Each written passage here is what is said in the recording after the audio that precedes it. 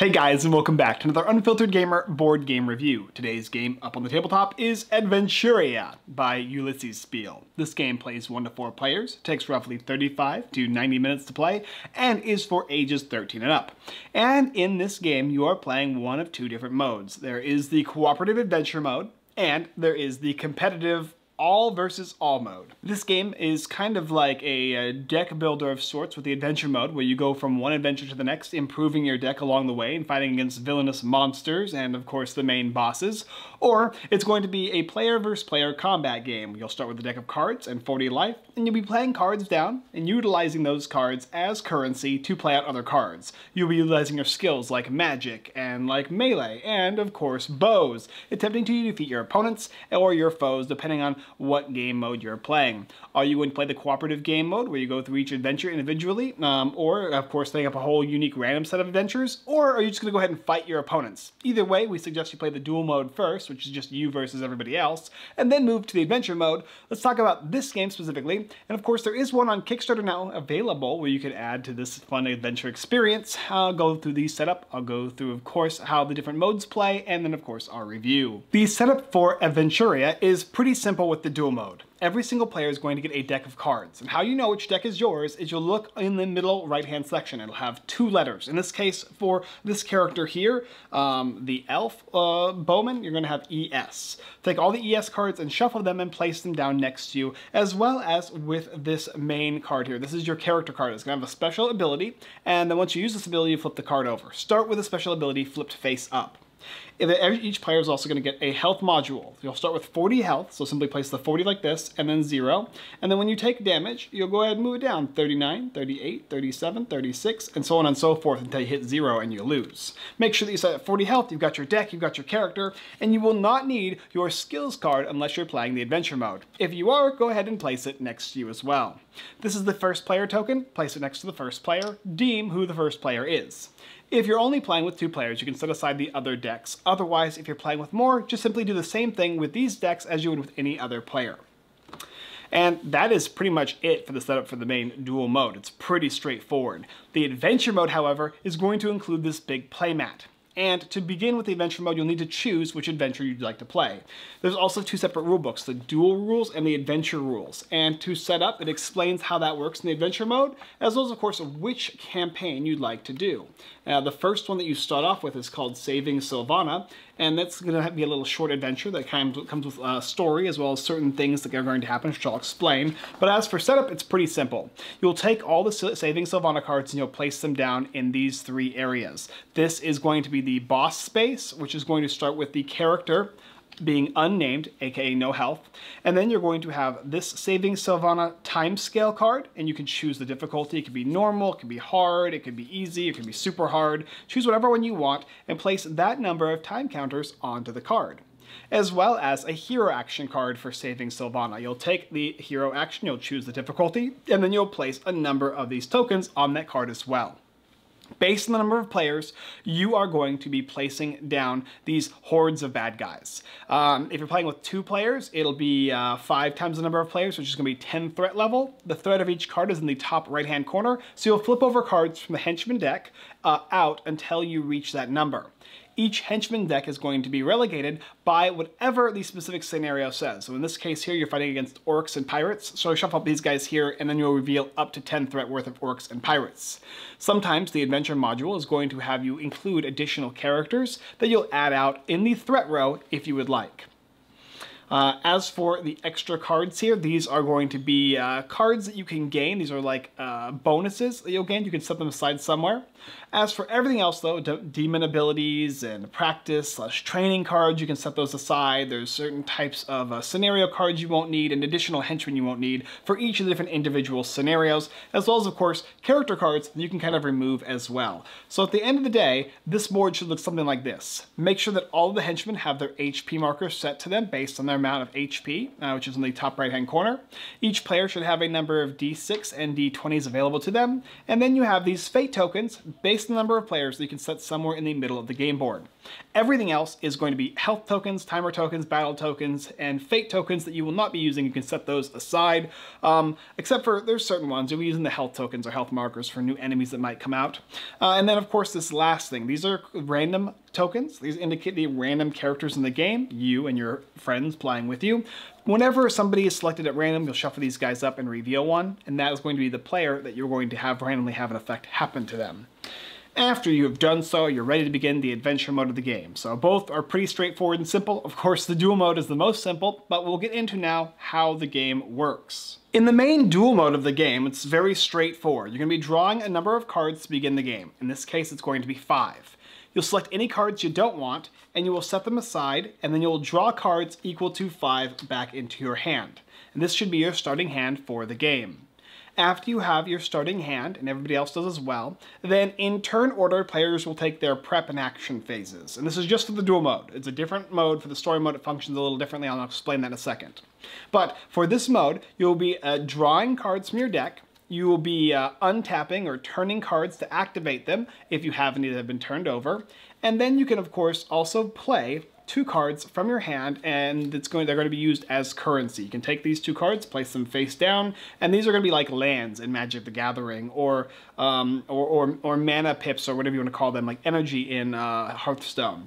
You can turn these during your turn and use these as actions. Your character is going to have a certain number of, um, of values based on their attack uh, for melee, for ranged, and for uh, magic.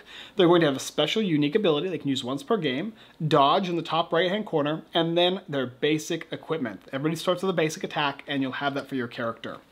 You can play cards as you want after you have done the prep phase, the untapping, the drawing, and the placing of mana. Uh, whenever you want to play cards, the top left-hand corner is going to indicate a number, and these cards can then be utilized. If they are black, these are instants that take place immediately and are discarded. And if they are white, these cards are permanent effects that stay in play, whether it be something that helps you out, specifically increases your stats, or a weapon of your choice that might be able to benefit you in some way when fighting your opponents tap these guys here or exhaust them and then bring something into play, whether it be acrobatics, increasing my character's a stat of uh, dodge by plus two. So now I can dodge at an eight instead of a six. Once you've played everything you want to play or utilize everything you want to utilize, you're done and the next player will get a chance to go. Uh, they will of course untap anything they might have. They're going to be drawing two cards, then playing two cards down, and then utilizing those cards to play out new cards. And that's basically how it goes. It goes back and forth, back and forth until everybody hits zero. Attacking is pretty simple as well. Certain abilities, such, such as like a spear thrower here, will have a cost to them with mana, as well as you'll have to exhaust the card. And then you will roll dice. So combat is initiated. You will roll this die here, a d20, to determine if you even hit. So if you if you roll the die and your value is equal to or less than the damage base of this type of weapon, so if this is a, going to be a spear, it's going to be considered a bow and arrow, you have to roll, and for this character it's a 12 or lower. I rolled a 2, so it takes effect. Then I check to see how much damage it does, 1d6. So I will take a d6 and I will roll it. A 4. Now my opponents are going to have an opportunity to dodge. They will take their die, they will roll it. If their number is lower than or equal to their dodge value, they are going to be able to take half less, half damage less. And if they have any armor, they can turn that to the side and protect that much damage as well. Any remaining damage after that is dealt to their life points, thusly reducing them from 40 HP to whatever it is that they go down to. And that's pretty much how the game goes. Those are unique effects and instants that you can play out of turn, there's cards that will benefit you throughout the entire round, and there's cards that will improve your ability to damage your opponents, as well as to improve your stats of your character. So, how does the adventure mode work? Well, the adventure mode is pretty similar in a lot of ways. You're going to be drawing your five cards into your hand, you're going to be choosing to discard any you don't want and picking up a new set of up to five cards. And then everybody is going to take the prep phase at the same time. They're going to untap everything or unexhaust everything, play down their two cards, and then after their prep is done and they've drawn their cards, yeah, I'm gonna draw my cards as well, uh, then, then everybody's done that, then the actions begin. Starting with the first player, he or she will take all of their actions. They will turn all these over and utilize them and play out new weapons, new bows, new spears, new daggers and axes and djinns and spells, and then attacking as well, utilizing these to attack all different enemies. As you see, there are three different targets on the field here. This guy's not activated yet, but you'll be able to do stuff like try and guess the name of the bad guy. So you'll be able to spend certain ability, uh, uh, certain certain costs uh, to roll based on crafting and knowledge and persuasion. And your new card here, this skill card here that you didn't need before in the basic duels, will give you your stats for these specific requirements. And thusly, hoping to slowly whittle down that character and eventually gain that character's name, thusly flipping it over to defeat it, because your leader is the leader is something you need to defeat in the game. Take all of your actions as the main player, the next player takes all of their actions, all the way up until the point where nobody has any actions left or nobody wants to play anything else. Then the bad guys are going to get a chance to go. And the bad guys function just like the good guys do. You'll take this d20 here, you will roll it, then you will assign it based on whatever number it says. Oh, a, a 3 through 5, and I rolled a 5? That's Kobold Scolding. The hero with the most cards is going to discard one. Now the Orc Archer's turn. I'll roll a d20. It's a 4. I check the 1 to 4. The hero with the most health suffers a d6 plus 5 damage. And you'll go through this and all of the enemies in the line here from left to right, top to bottom. And once they're all done, then you'll go and move on to the last phase, which is the time scale phase. You'll remove a time scale from the time scale card, and you'll check to see how many are left. And based on how many are left is what's gonna happen. New enemies might spawn, players might have to discard cards, players might take damage. It all depends on the adventure. Finish the end step up and begin by prepping all the players, untapping everything, drawing cards, playing down more cards, utilizing those cards, and rinsing and repeating until one of the two victory, victory or defeat conditions triggers. Either you all die and the game is over, or you're able to defeat all the minions on the playing board. Some adventures might vary and change how the game is played, but for the most part, that's how Aventuria works. All right, let's talk about my review.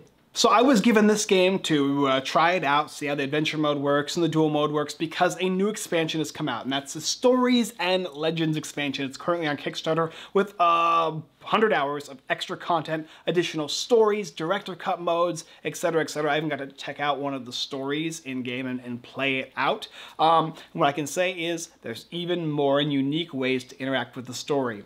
In the basic Aventuria with the adventure mode here, there's a certain number of stories, not a huge amount of them, um, but of course some of them are much more in-depth than others. They're going to be making rolls and making checks throughout the beginning of the phase before combat begins, changing how the game works and how many many cards you get, how much damage you take, what you start with, etc, etc. Whether or not you fight additional enemies. So for instance, in the first one, you might have to deal with additional cowardly goblins that hit the field based on how many failures people got.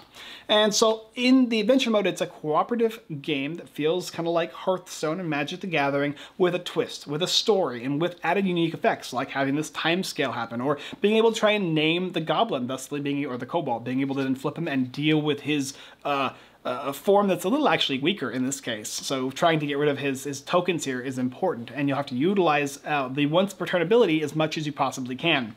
But with each of them comes more unique cards, new specific scenarios, and uh, much more danger. There's a way to increase the difficulty too by changing this time scale cards to a more difficult uh, way of playing the game. More enemies will spawn or stronger enemies, that kind of thing. Uh, this game also has some unique mechanics. Uh, there is the crit hit and the critical failure. So if you roll a 20, uh, that's going to be a failure. And if you roll a 1, that is a success. So it's kind of switched. But when you roll a 6-sided die, if you roll a 6, that's the best you can get, and a 1 is the worst you can get, because that's how much damage you're going to deal.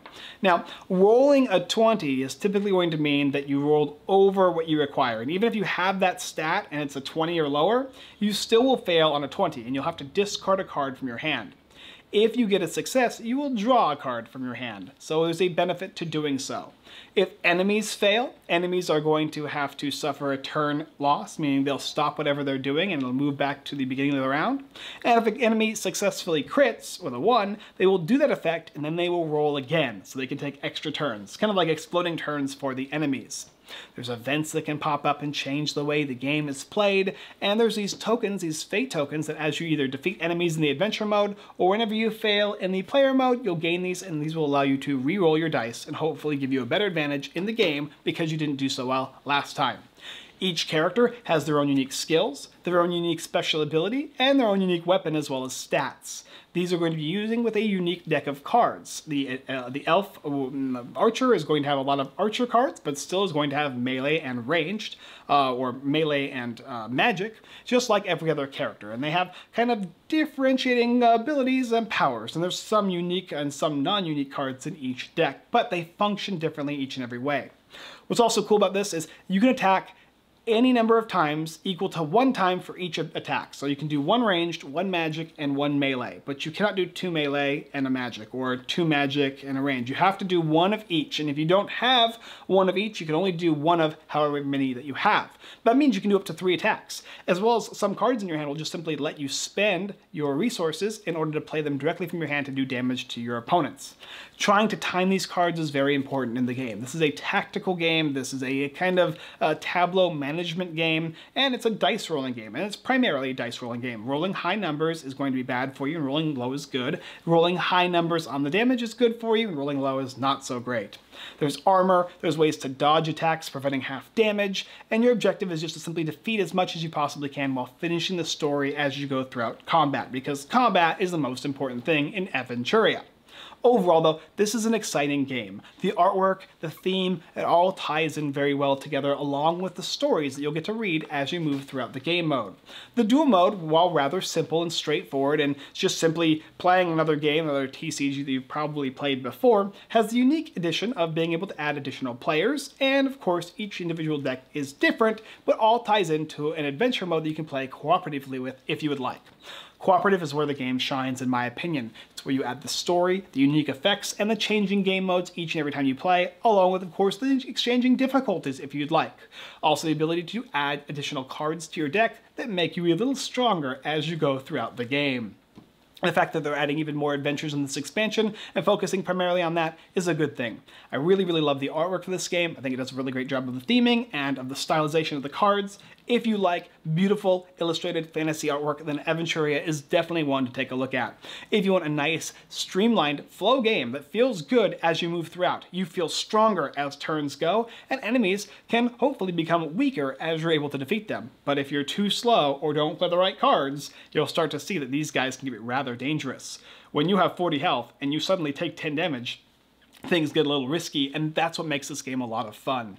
Overall, an excellent game, something I highly recommend, and if you want to play something that's like Magic the Gathering and Hearthstone, where it's you guys though versus this big massive wave of armies and a villain and these different things that pop up that change the scenario, then Aventuria is something you should consider. Thank you guys for watching another Unfiltered Gamer board game review for the game Aventuria. If you like this game, go ahead and uh, also, go, oh, if you like this video, go ahead and check out the rest of our videos here on YouTube. Like, comment, and subscribe. If you have been here long enough to see more than one video, perhaps it's worth it to you to subscribe. If we've earned your subscription, I would greatly appreciate it. It helps us continue to do more videos every day, every day. Uh, we do a live stream, which is on Wednesdays at 6.30 p.m. PST on Whatnot, link in the description, and on Sundays, uh, Twitch and Facebook uploaded to YouTube the next day on Saturdays on, yeah, those, those, those locations. it's been a long, long week, but I thank you so much, and I hope you appreciated watching this review for Aventuria. Go ahead and check out that link, please, if you want to see the new expansions, which will also have the base game that you can purchase. Alright guys, that's all I got for this time, and as always, I look forward to delving into Aventuria with you next time.